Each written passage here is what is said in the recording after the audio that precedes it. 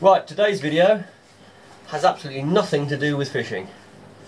It's it was part of the sort of walk around videos that I was going to do. I mean, I've been quite busy and I've been collecting a bit of footage now and again, and uh, I hadn't put it together yet. And obviously, circumstances changed of why partly why I made those videos, and so it just basically sat on my computer. Well, anyway, the weather's been pretty atrocious lately, and I was going through some of the footage and decided just to put it together. It's only a short video.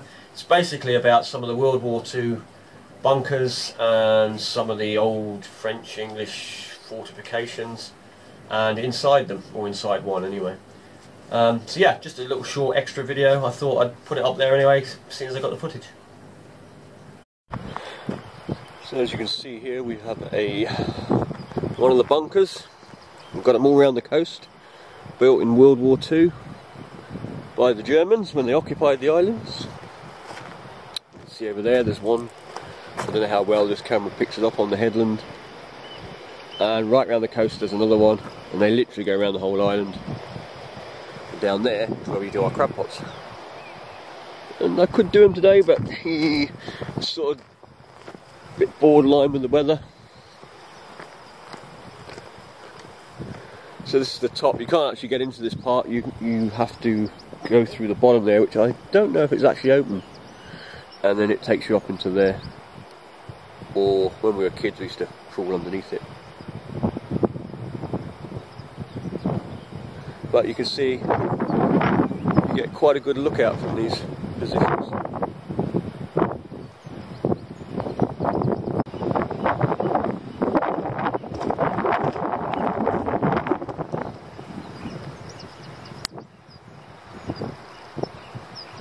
See the concrete is falling apart on this one where the uh, steel is rusting. I don't know if you can pick that up on the camera. And there you have observation or where they'd mount machine guns or God knows what.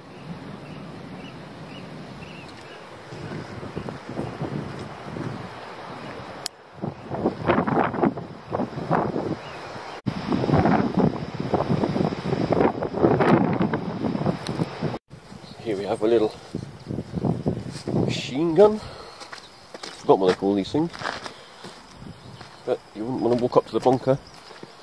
That's for sure. If somebody was in that with live ammunition. You can see here, this is uh, entrance to one of the bunkers. It's all been tidied up.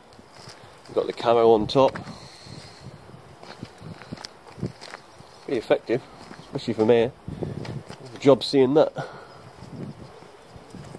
come down to here, have a gun that was installed. It's the group that started, set I think set this up a long time ago, started putting back some of the, or doing up the bunkers, which I think is absolutely brilliant to reinstall things, you know.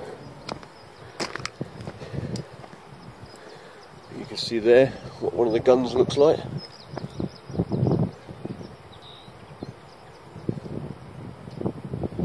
Bunker complex underneath. I mean, there's a lot of bunkers around this island. A lot of them you don't actually see that are hidden away underground, tunnels everywhere. This place was heavily fortified. And here you have another emplacement, which was probably probably a gun mount, something along those lines.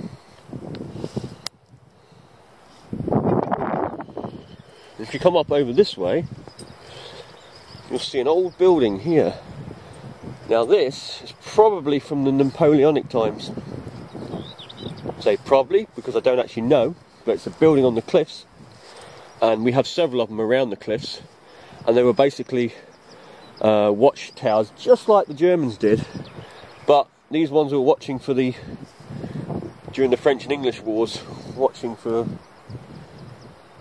invasion or ships coming, sailing ships, when they used to fight over the islands, the French and the English.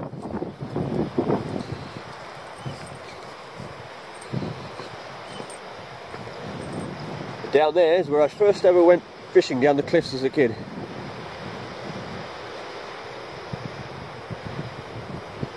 Not that that's got anything to do with the the bunkers and that. so yeah, a lot of history in this island, a lot of history. And as you can see here, there's more buildings. They've been reinforced by the Germans. They may have even been built by the Germans. But they are granite underneath those ones, so they could be older than that. And there's another one here, as you'll see.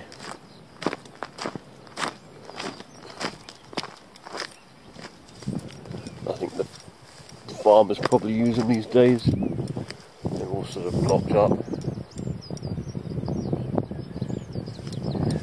Blocked up, gated up.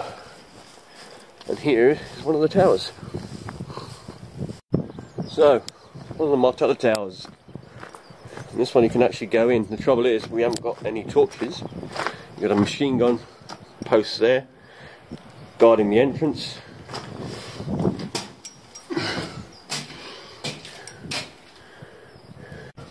Just put my light on. I have a torch now, it's full of water in here and rubbish and all sorts. Luckily I've got my wellies on. But you have this area here where you look out, as you can see. You look out the slot.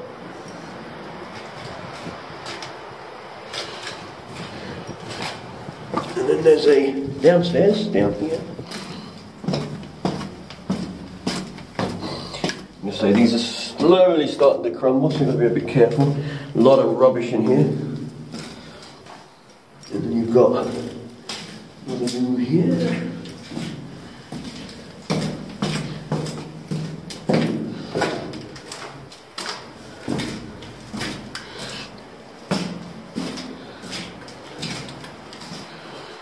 Again, another look out. Obviously there's several of these across all angles. And then down there that goes to another room and there's also a small tunnel like a crawl tunnel, which is like an escape hatch that they could escape out of if they needed to. But we won't bother going down there.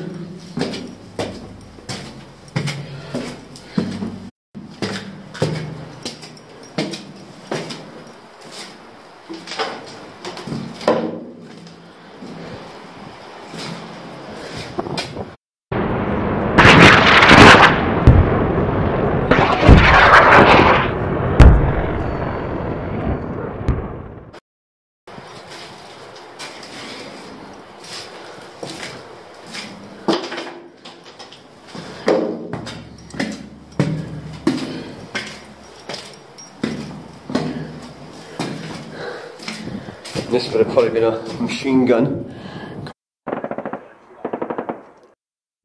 covering the back of the battery. And they've still got a rope here. I always remember there being a rope here as a kid. Used to climb up, you could go on top onto the roof because obviously there would have been a ladder here, but the ladder has obviously rusted away or been cut away, whichever. And uh, there's always a rope that gets tied up there.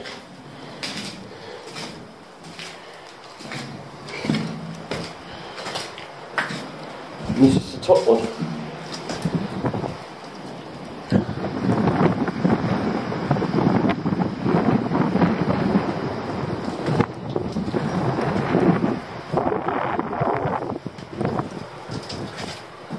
there you go, this is inside of one. Like I say, it's obviously dark, not that bright, but I think you get the general idea. You just got to watch out things like this. The metal's hanging down now, where it's rusting away on the ceiling because it's lined with steel.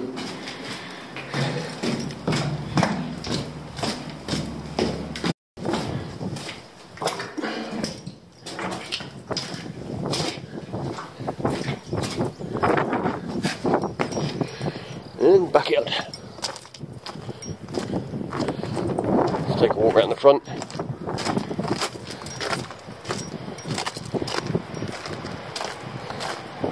So there you go, you can see it extends into there, which would have been. We went through these rooms, there's another room that goes into there with two more slots. So quite a substantial building.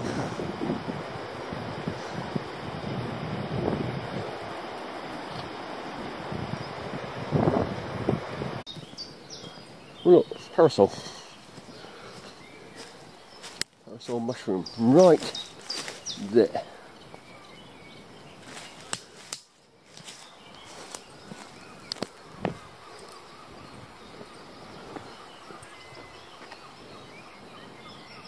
Here you have one of the original Napoleonic towers, Martello Towers, still intact.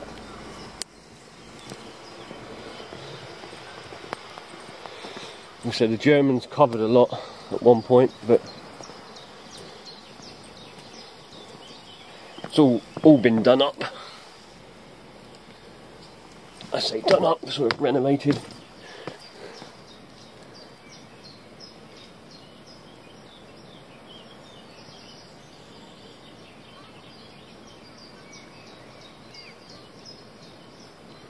And again it looks out over the oceans different part of the coast